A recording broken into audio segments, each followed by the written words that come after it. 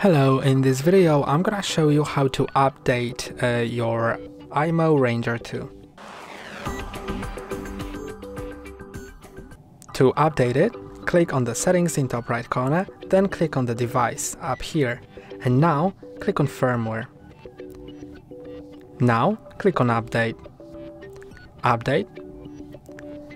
And now it will take a while for the device to update and I'll get back to you after the device is updated.